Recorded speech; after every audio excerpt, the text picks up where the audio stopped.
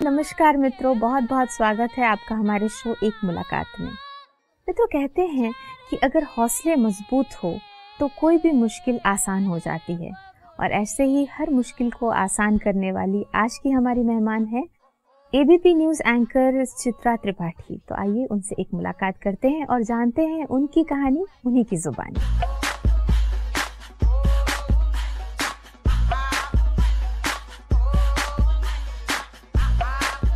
चलिए शुरू कर पश्चिम बंगाल में आप ममता बनर्जी या फिर बीजेपी के सामने कहाँ पर खड़े हैं? आप लोगों के मंथन से तो या तो राहुल निकलकर सामने आते हैं या तो फिर वही पुरानी बातें।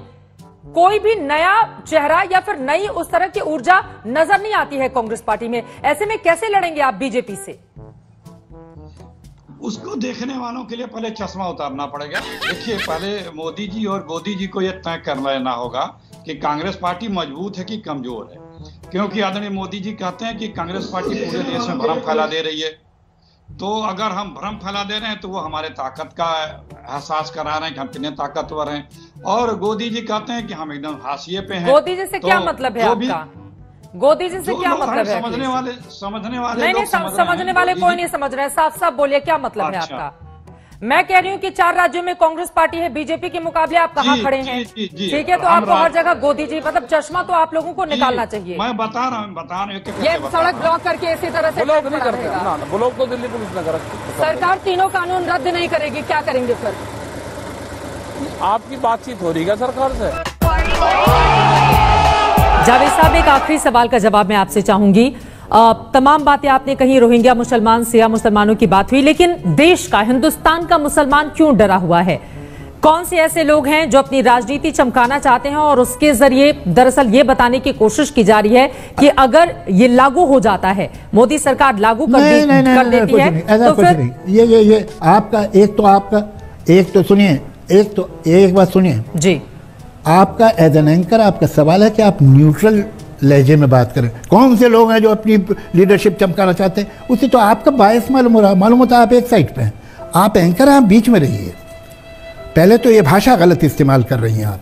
आप ये- ये सरकार का जो आदमी ऐसा कहता है कि ये गलत है वो अपनी लीडरशिप नहीं चमकाना चाहिए उसके बारे में नहीं बोलेंगे आप। ये आपने तो तय कर लिया आप किस साइड पे है। जर्नलिस्ट को तय नहीं करना चाहिए वो किस साइड पे उसे न्यूट्रल रहना चाहिए। अब सुनिए पहले अपनी लैंग्वेज आगे ऐसी मत इस्तेमाल तो कीजिए। सर जोश के साथ आपको स्वागत करना चाहिए इस बात का। मैं तो सिर्फ़ इतना कहना चाह रही हूँ। मुझे आपसे जोश सीखने की ज़रूरत नहीं है सर, मैं सिखा भी नहीं रही हूँ, मैं तो इस तरह की निवेदन कर रही हूँ, ओवैसी साहब। मैं सिर्फ़ आपसे यही कह रहा हूँ। न- न- मैं बिल्कुल बिल्कुल न- मैं, मैं सीखने तैयार भी नहीं हूँ आपसे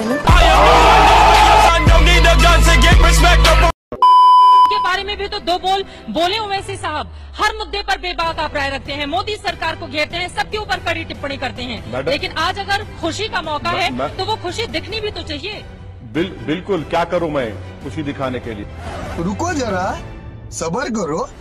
आप बताइए आप वज़ीर आज़म से पूछिए कि उनकी बीवी उनके घर में क्यों नहीं रह रही है? उस उस औरत का आपका क्या होगा? अब आप देखिए अब आपके चेहरे का रंग कितना बदल जाता है।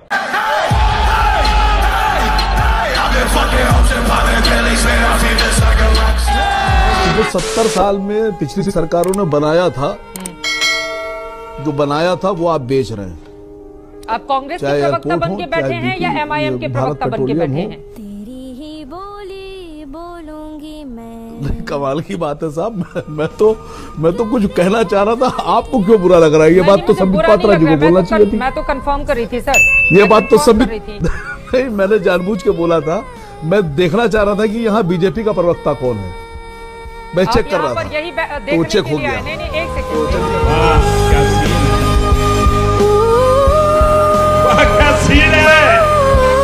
वो अब आपको विस्तार से हम दिखा रहे हैं। पश्चिम बंगाल में ममता बनर्जी ने 40 अप्रैल तक लॉकडाउन बढ़ा दिया है। ये a अबे साले।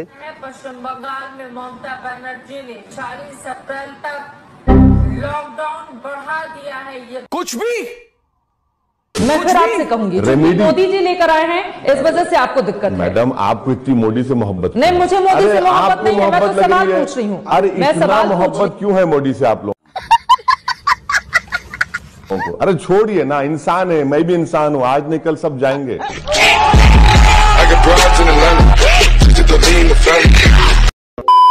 आपको प्रॉब्लम क्या है मीडिया में कि बस मोदी के खिलाफ कोई बोले? तो एक तो आपको लगता है कि भाई थर्मामीटर 104 दिखा रहा है। गजब बेइज्जती है। अब नहीं मालूम क्या प्रेशर है आप लोगों पर।